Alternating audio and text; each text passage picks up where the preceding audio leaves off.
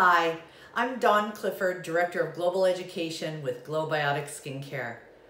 August is our month that we are focusing on acne. So today for this weekend Skin Warrior segment, I thought I'd dive a little bit deeper into the condition and educate you on the different grades of acne. There are four, and the first one is called grade one.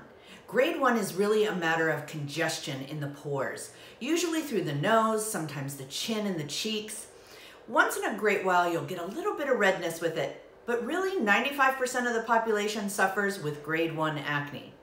Grade two is when you have that congestion that we were just discussing along with inflammation.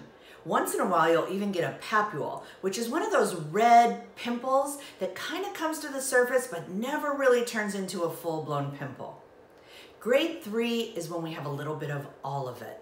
We have the inflammation, the congestion, papules, and now we have pustules, those pimples that you just want to squeeze, but you know you shouldn't do it.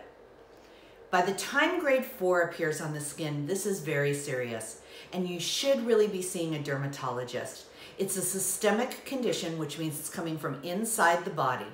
You have all of the things that we just discussed, including those papules, several pustules, nodules, and cysts.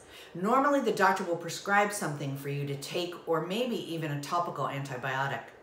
The great thing about Glowbiotics probiotic skincare is that we can offer you something to help you through each and every grade. So for more information, go to glowbiotics.com or email me directly at education at glowbiotics.com. Always check our Instagram posts because you can always DM us there also. Thanks and have a great weekend.